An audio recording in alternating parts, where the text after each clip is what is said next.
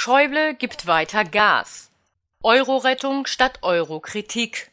Bundesfinanzminister Schäuble tritt weiter aufs Gas und stellt eindeutig klar, Finanzangelegenheiten seien Sache des Finanzministeriums.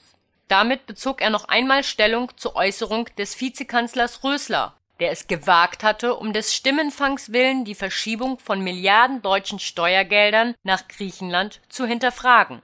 Wie eine der gleichgerichteten Zeitungen Welt Online meldete, ging Schäuble noch einen Schritt weiter. Er sagte der Bild am Sonntag, ich kann mir beim besten Willen nicht vorstellen, dass die FDP sich durch einen Mitgliederentscheid auf einen euroskeptischen Kurs bringen ließe.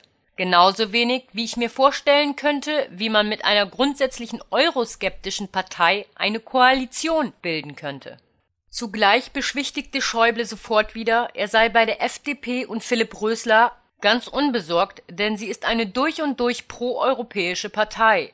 Damit deutete er auch unverblümt an, dass die FDP auch im Falle eines Mitgliederentscheides gegen den Euro-Rettungsschirm strikt auf Kurs bleiben wird und aber auch bleiben muss.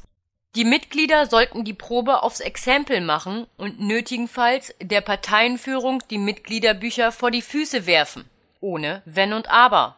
Was diese Aussage für das innerparteiliche Mitspracherecht der CDU-Mitglieder bedeutet, sollen diejenigen entscheiden, die dieser deutschfeindlichen Partei noch angehören und denken, die CDU sei noch zu retten. Wie diese Aussage auch im Hinblick auf die vielbeschworene Demokratie in der BRD zu werten ist, mag jeder für sich selbst entscheiden. Für die Regierung merkte er an, dass in der Sache zwischen ihm und Angela Merkel absolute Einigkeit bestehe und mit einer Stimme gesprochen werde. Dass viele andere auch reden, kann ich nicht ändern, so der Finanzminister. Rösler, Bundeswirtschaftsminister und mittlerweile Vizekanzler, ist für Schäuble anscheinend kein Mitglied der Regierung und nur einer von vielen, ein Irgendwer.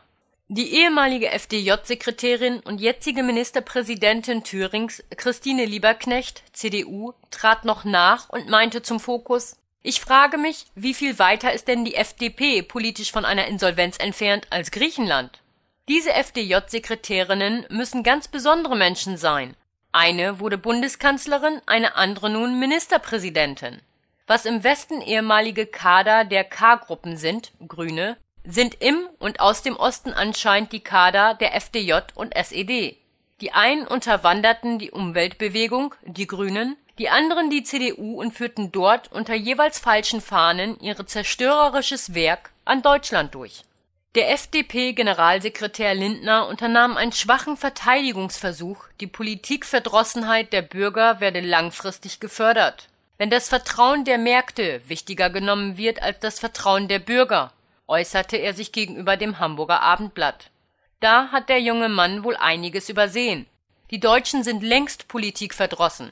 Die Parteien haben an Zugkraft und Vertrauen erheblich eingebüßt und werden das verlorene Terrain auch nicht mehr zurückgewinnen.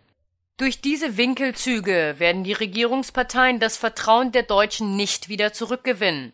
Es wird ein Streit geführt, vorgetäuscht, ein Streit über eine Sache, dessen Ergebnis längst feststeht und beschlossene Sache ist